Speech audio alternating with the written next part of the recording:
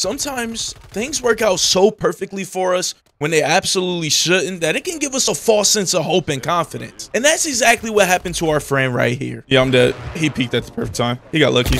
He's dog shit. Now, I'm pretty self-aware. Was that a bad push? Yeah, you could argue that. But at the same time, like if that was me dropping in, I definitely wouldn't have found a weapon right there. So how was I supposed to know that he was going to find a whole AR and light me up with it? This is the part where that false sense of security and confidence starts to come in. Because as I'm landing back in, I can hear this team now taunting my teammates. Yo, that bird ass nigga's getting hit, um, baby, nigga.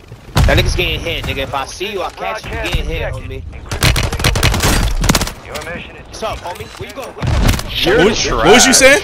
So unfortunately, while I'm in the midst of handling my business in my one-on-one, recovering the loot afterwards, two of my teammates happen to go down. But the thing is, I know these guys made a big mistake. They just ain't realized it yet. So in the middle of all of the commotion of them looking for everybody because they have zero mini-map awareness and can't find me, I decide to make a little rotation play up to the top. If I'm gonna win this gunfight, I need to have the high ground. After I spot them, I decide I'm gonna pop a few shots at them. Because the thing about COD players like this is that in their minds, they think they are way better than what they are. So they're gonna make the dumb play of taking the zip. And as soon as one does, I'm gonna beam him. After I beam him, the other two are gonna try and come up the stairs, thinking they learn from their teammates' mistakes, and it's not gonna help. What's up?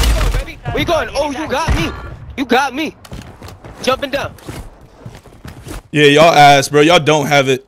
You'd have been better off just hiding. I got it in me. I got it in me. You about to have it in you. You about to have all 11 inches in you. I got it in me, boy. You about to have all 11 inches in you.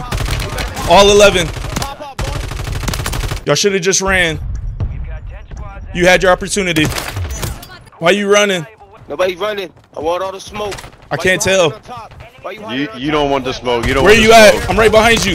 I thought you wanted to Oh, smoke. you guys. Look at you guys up there like fucking. It's just me.